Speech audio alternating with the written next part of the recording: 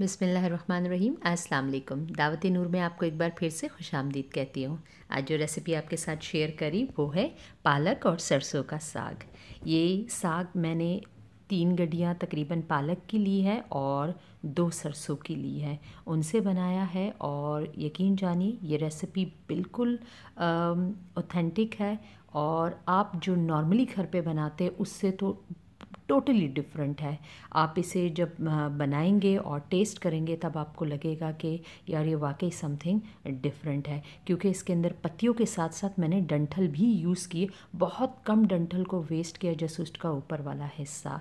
और ये चले इसे स्टार्ट करते इसके लिए मैंने तकरीबन दो कप पानी लिया। उसे वॉक में बॉयल कर लिया। या साग को हमेशा बॉइलिंग वाटर में डालना है, ठंडे पानी के साथ इसे नहीं रखना। क्योंकि आपने जो देखा लास्ट तक मेरा कलर जिस तरह से ग्रीन था रीज़न दो तीन चीज़ें मैं आपको इसके अंदर बताऊँगी। आप अगर उन टिप्स को फॉलो करेंगे तो आपका साग बनने के बाद भी इसी तरह लेविश ग्रीन कलर का रहेगा और ये बिल्कुल भी ब्लैक कलर की तरफ़ नहीं जाएगा। अब मैंने इसे वॉक के अंदर गर्म बॉयलिंग वाटर में डाल दिया है। मैंने सारा एक साथ डाल दिया। अब आहिस्ता आहिस्ता जैसे इसके अंदर बॉयल आता जाएगा, मेरा साग खुद नीचे बैठता रहेगा। अब मैं वन टीस्पून इसके अंदर सॉल्ट शामिल करूँगा। वन टीस्पून से कम लीजिएगा और a pinch of soda baking soda मैंने लिया है। वो मैं मीठा सोडा इसके अंदर शामिल करूँगी। एक तो बॉइलिंग वाटर में साग को डालना और एक ये थोड़ा सा सोडा और नमक डालकर इसे बॉईल करने से इसका कलर ग्रीन रहेगा और ये कलर इसका बिलीव मी नहीं ख़राब होगा। जैसे आप मेरा लास्ट तक देख सकते हैं कि उसका कलर किस तरह से अच्छा रहा है। अब इसे बॉयल तकरीबन दो मिनट के अंदर आप देख लीजिए, अच्छी तरह से बॉयल भी हो रहा है और नीचे कंप्लीट सेटल डाउन हो गया अब तकरीबन छः मिनट मेरे साग को बॉयल होते हुए हो गए। आप देख लीजिए, मैंने जो स्टेम इसके अंदर डाली थी, वो भी सॉफ्ट हो गई मैंने उसे उंगलियों की मदद से प्रेस किया, अच्छी तरह से, अल्हम्दुलिल्लाह कम्प्लीटली डन हो चुकी है वो। अब मैंने उसे साग को मैं स्ट्रेन कर लूँगी, इसका पानी निकाल लूँगी। अब मैंने ये कुछ लहसुन और अदरक और हरी मिर्चें ली थी, उन्हें मैं पीस लूँगी। ताज़ी लहसुन, अदरक लीजिएगा, अगर आपके पास पिसी हुई तो काइंडली वो मत लीजिएगा, ताज़ी ही कीजिएगा, उसका टेस्ट औसम आएगा। अब मैंने कोई थ्री टेबल स्पून के करीब ऑयल लिया है और ये जो लहसुन, अदरक और हरी मिर्चें मैंने पीसी हुई है, ये इस ऑयल के अंदर मैं शामिल करूँगी। इन्हें जस्ट सिर्फ़ वन मिनट से भी कम टाइम के लिए मैं सौते करूँगी, इन्हें ब्राउन कुछ भी नहीं करना है, लहसुन की अपनी कच्ची खुशबू रहनी चाहिए, ये आपके साग को बहुत औसम टेस्ट देंगे। अब मैंने चार बड़े टमाटर लिए हैं, उन्हें भी शामिल कर दिए और बहुत कम सा सॉल्ट लिए क्योंकि बॉईल करते हुए भी मैंने डाला था अपना, जो साग को मैं बॉईल करी थी, उस वक्त भी मैंने सॉल्ट शामिल किया था तो इस वक्त मैं थोड़ा सा लूँगी। अब उसी कूटने वाले में, जिसमें मैंने लहसुन अदरक कूटा था, उसमें थोड़ा सा पानी लेकर टमाटरों के साथ शामिल कर दिया और इसे लिड लगाकर मैं तीन मिनट के लिए, पकने के लिए रख दूँगी, तब तक मेरे टमाटर सॉफ्ट हो जाएँगे।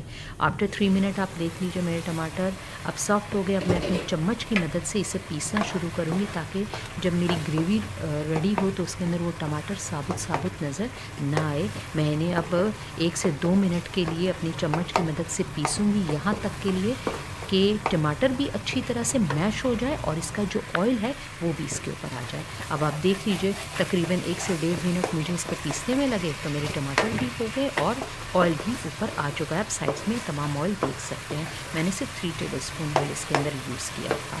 तो ये अलहमदिल्ला कम्प्लीटली डन इसके अंदर और कोई एक्स्ट्रा मैं लाल मिर्चें, ज़ीरा, धनिया कुछ भी यूज़ नहीं करूँगी। नथिंग ये इन इंग्रेडिएंट के साथ ऐसा औसम रेडी होगा कि आप भी कहेंगे कि ये क्या इस तरह से तो हमने कभी भी टेस्ट नहीं किया था।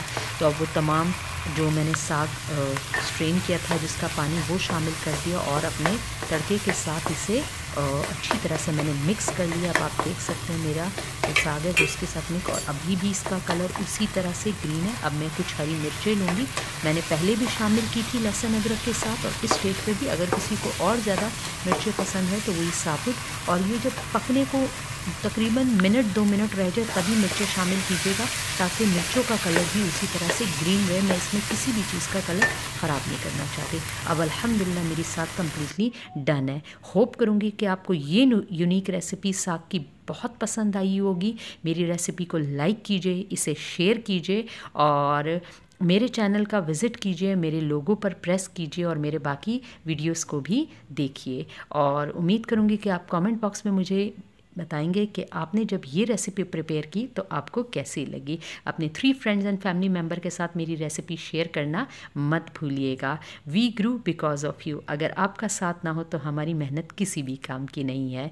तो दुआओं के साथ आपसे इजाज़त चाहूँगी। अल्लाह हाफिज़।